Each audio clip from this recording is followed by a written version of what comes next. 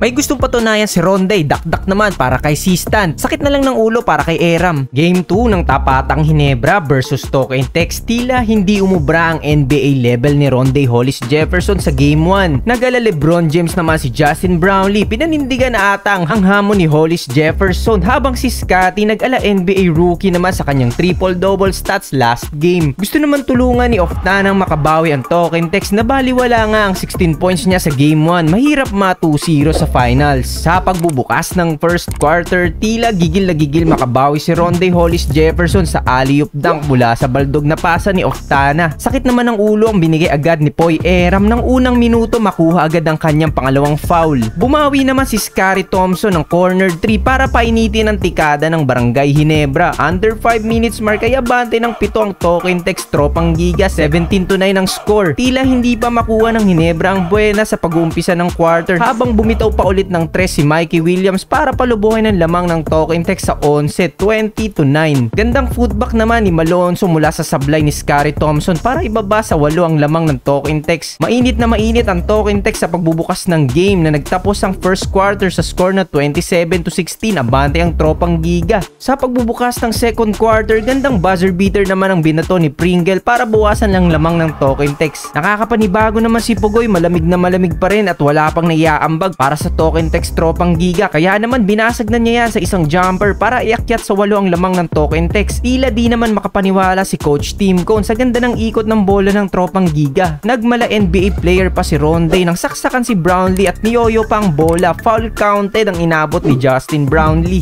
Under 8 minutes mark, akyat sa 13 ang lamang ng token text 35 to 23. Habang si Sistan gustong buhayan ng barangay, naiwan si Ronday at gandang dakdak pa ang pabaon. Pero under 2 minutes mark, lamang pa din ng 8 ang token text 47 to 39. Nanguna sa first half si Mikey Williams para sa token text na meron ng 13 points at 3 rebounds habang 13 points naman si Christian Stanhardinger ng Barangay Hinebra. End of first half 51 to 39 lamang ng 12 ang token text tropang giga. Entering the third quarter, 5 straight points agad ang inambag ni Pugoy. Isa na dyan ang gandang pump fake talagang kumagat ang depensa. Habang gandang pick and roll play naman ni Justin Brownlee at Christian Stanhardinger para bawasan ang kalamangan ng token text. Under 5 minutes mark na mamayagpag ang token text tila walang sagot ang Barangay Hinebra sa mainit na tikada ng tropang giga. Veteran moves naman ni Scotty Thompson para sa 100 footback. Kinain pa sa pwestuhan si Oftana. Pilit na binubuhat ni Scotty ang Hinebra. Gandang nilalaro na meron ng 16 points, 9 rebounds at 4 assists. Bago magtapos ang quarter, nakascore pa si Brownlee para ibaba sa anim ang lamang ng token text 67 to 61. At eto na nga coming from timeout, nakapagpasabit pa si Brownlee kay Roser. 3 free throws. At na-convert naman ni Justin Brownlee ang tatlong free throws kaya baba sa tatlong lamang ng token text 67 to 64. Meron ng 13 points, 10 rebounds, 8 assists si Justin Brownlee sa third quarter. Pagpasok nga ng fourth quarter, tatlo na lang ang lamang ng token text biglang nabuhay ang barangay Hinebra. Pero binuksan naman ni Pugoy ang quarter sa isang jumper. Habang sinagot naman ni Malonzo agad yan sa isang pull-up jumper. Pero hindi nga nawawala sa token text ang momentum. 11 to 6 run pa ang binato sa Hinebra kaya biglang akyat sa walong lamang ng token text 78 to 72 under 8 minutes mark. Pagpasok ng fourth quarter, nawalan nga ng sagot ang Barangay Hinebra sa mainit na tikada ni Roger Pugoy. Habang grabing dagger 3 naman ang binitawan ni Mikey Williams nang maiwan sa labas kaya naman automatic agad yan at akyat sa walo ang lamang ng token text 88 to 80 under 3 minutes mark. Pilit na binubuhay ni Jamie Malonzo ang mga kakampi niya. Ngunit sinagot naman siya ni Ronde Hollis Jefferson ng isang follow-up shot. Nawala na nga nasagot ang Hinebra sa mainit na tikada ng token text kaya naman nagtapos ang laro sa score na 95 to 82. Nanguna si Ronde Hollis Jefferson para sa token text na may 23 points, 19 rebounds at 9 assists.